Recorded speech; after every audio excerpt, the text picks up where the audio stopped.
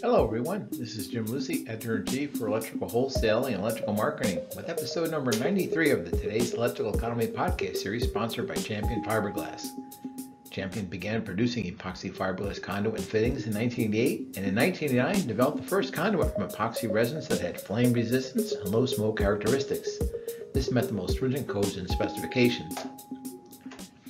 Episode 93 will take a look at the electrical stocks, winners and losers in the first quarter of 2024. We'll also check out the new look for GE after its spin-off of its aerospace and power divisions. We'll also provide updates for five key weekly economic indicators, the initial unemployment claims at the state level, rail freight car traffic, the Baker Hughes rig count, oil prices, and copper prices. Our thanks again to Champion Fiberglass for sponsoring Today's Electrical Economy podcast series for 2024. Week ending March 30, the advanced figure for seasonally adjusted initial unemployment claims was 221,000. That's an increase of 9,000 from the previous week's revised level. The U.S. unemployment rate in for March dropped to 3.8%. Two states had some pretty big drops in their unemployment claims, Texas and Missouri. Texas unemployment claims dropped 3,277, now standing at 13,767. Missouri's claims dropped 2,476. Their claims now stand at 2,975. Uh, the other uh, top five states and drops in unemployment claims Georgia down 1,103 to 3,344. Arkansas down 525 to 1,031. And North Carolina now standing at 2,590 after a drop of 482 claims. Six states had claims of over 1,000. That's a fairly significant increase from our last report. These claim these states are California, which was up 2,528 claims, now standing at 43,418. Pennsylvania up 1,898, and that is to 11,396. Iowa saw its claims increase from 1,494 to 3,021. Illinois up 1,242 to 9,510. Wisconsin now standing 5,609, up 1,180. And the state of Ohio up to 6,107, and that is up 1,064 claims. One of the more interesting leading economic indicators for the overall U.S. economy is freight rail traffic. It's a measure of the amount of raw materials and finished goods being shipped by rail. The best source for this data is the American Association of Railroads, or AAR. It publishes this data weekly at www.aar.org. The most recent data shows that total U.S. weekly rail traffic was 472,651 carloads and intermodal units. That's up 3.2% compared with the same week last year. Total combined U.S. traffic for the first 13 weeks of 2024 was 6,042,474 carloads and intermodal units. That is an increase of 2.5% compared to last year. Dr. Rand Ghayad, the chief economist for the American Association of Railroads, said this about the data. Large swaths of rail traffic reflect broader economic changes, he said. The recent announcement by the Institute for Supply Management that its manufacturing sentiment turned positive in March aligns with rail carloads, excluding coal, that showed a healthy 2.9% growth. This growth was driven largely by chemicals, petroleum products, and autos, which are critical components of our economy. Conversely, coal volumes continued to decline due to ongoing shifts in electricity generation markets. Intermodal traffic was again a bright spot in March, reflecting stable consumer spending, and increasing port activity, and a reduction in inventory destocking. We saw some pretty nice increases in this week's data in a wide variety of freight types. Total intermodal units were up 9.1%. Petroleum and petroleum products were up 7.7% compared to last year. That's followed, followed by an increase of 4.5% compared to last year in chemicals and a 3.5% increase in motor vehicles and parts. The biggest declines were in coal, which was down 14.1% as previously mentioned, and non-metallic minerals down 9.3%. If you track the oil market, you're probably familiar with the Baker Hughes rig count, which tracks the oil and gas rigs that are operating. This data is available by state, by basin, and nationally at www.rigcount.bakerhughes.com. slide gives you an idea of the largest oil and gas deposits. It really gives you a good sense of just how many of the large oil plays are in Texas and Oklahoma and parts of New Mexico. Also shows you how big an area the Marcellus gas region covers in parts of Pennsylvania, Ohio, and West Virginia. There's another drop in the Baker Hughes rig count from most recent data. There was an overall drop of three rigs and a drop of four rigs in Texas and three rigs in Louisiana. Interestingly, New Mexico has five new rigs operating for a total of 111. New Mexico now shows an annual increase of 6.7%, which is far above the uh, many of the other states because Texas is down 22.9%, Oklahoma showing a drop of 25.4% year over year, Louisiana down year over year down 28.1%, and North Dakota is down 22%. On a base basin, if you want to look at the year over year uh, activity or drops in most cases, really, uh, Permian Basin down 10.2% over last year. Eagle Ford, Texas' second largest basin, down 21.5%. The Haynesville Basin, which straddles the uh, Texas and Louisiana uh, state lines, down 45.5%, and that would certainly uh, measures up uh, when we mentioned before about the rigs being down in Texas and Louisiana. Uh, the Williston Basin in North Dakota down 9%, and Marcellus down 25%. The current price of WTI crude oil as of April 8th is $86.91 a barrel. That's up a few dollars from our last report and well over the annual average right now of $77.97 per barrel. Energy industry observers attribute some of the increases to concerns over the situation in Israel and Gaza and other tensions in that region. There's also talk of perhaps being some trouble with pricing if uh, Iran and Russia ever got together and decided to do any kind of a boycott. Economists like to call copper pricing Dr. Copper because it's the leading economic indicator for future activity since it's used in so many industries. The construction industry is among the leading markets for copper because of its use in wiring cable and plumbing pipe. As of April the 5th, copper is sitting at $4.24 per pound. That's up about 20 cents per pound since our last report.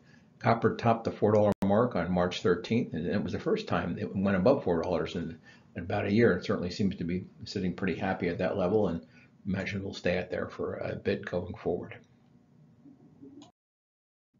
Now let's take a look at the electrical stocks, the publicly held companies of manufacturers, distributors, some of the big box stores, and contractors. A lot of activity in the market. There were some definitely some companies did a lot better than others. The market overall was was pretty de decent in the first quarter, although that's been some minor slowdown in the uh, last couple of weeks. Let's take a look.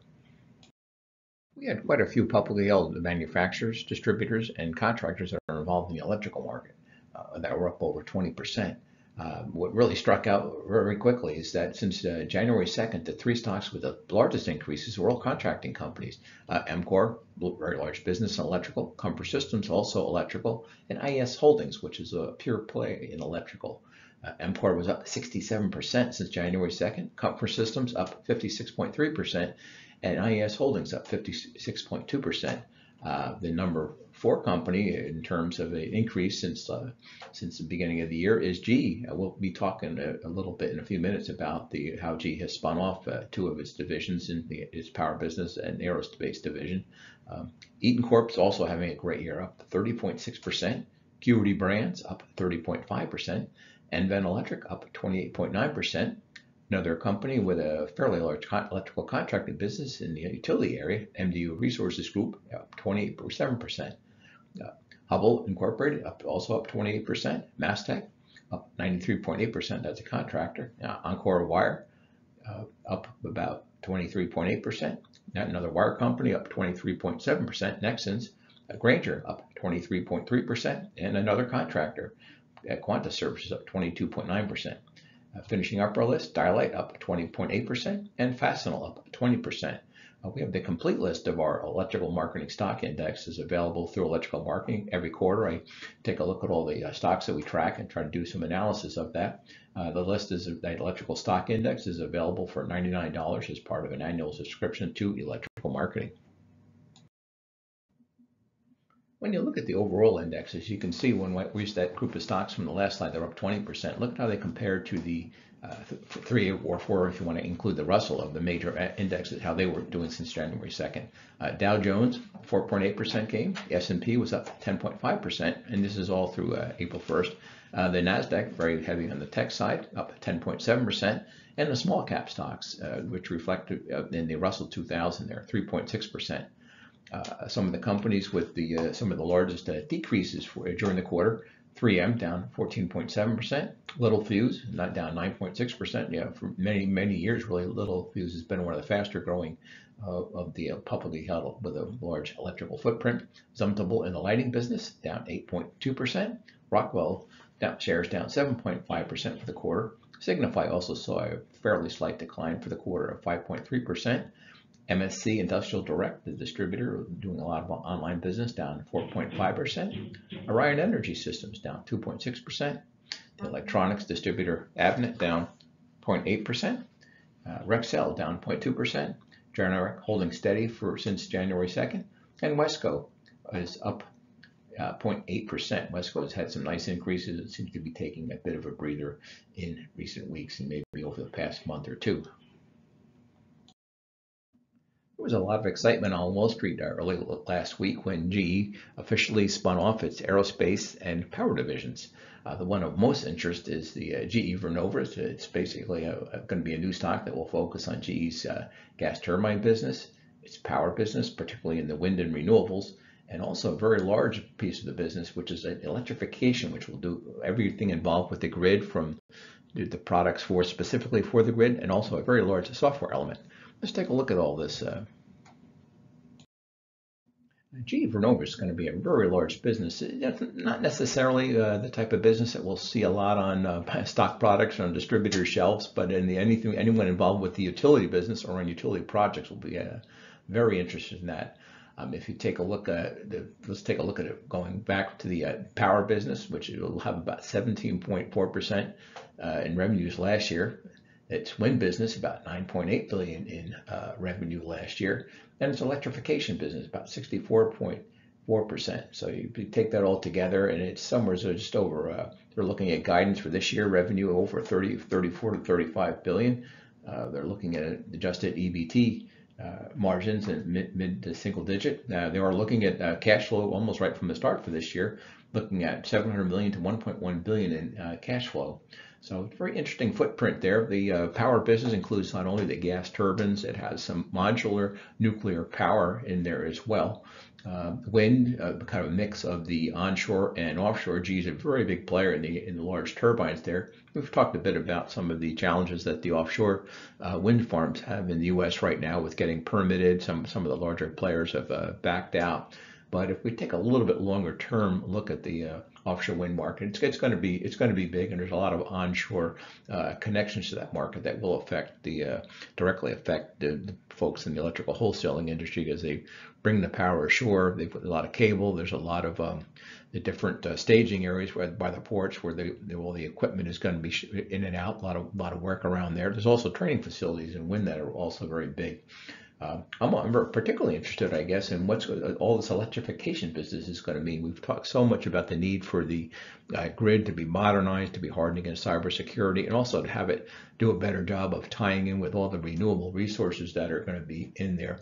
And GE is going to be involved with all of it, uh, both on the you know, specific products, whether it's some of the uh, you know, large, large uh, utility type of products, but also quite a bit of software as well. So it's going to be very interesting see where this all ends up for GE. This wraps up our podcast for today. Special thanks to the folks from Champion Fiberglass for sponsoring the today's Electrical Economy podcast series in 2024.